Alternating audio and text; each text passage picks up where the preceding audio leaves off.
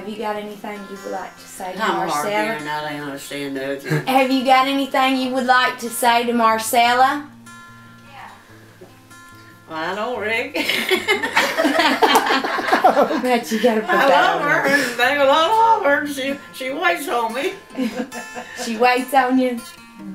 Are you proud of her? Uh, Are you proud of her? oh yeah.